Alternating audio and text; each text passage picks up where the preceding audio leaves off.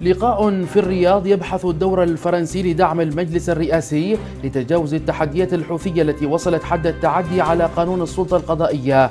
وبالتزامن إحاطة جديدة للمبعوث الأممي أمام مجلس الأمن دون مؤشرات لإجراءات تردع الحوثيين.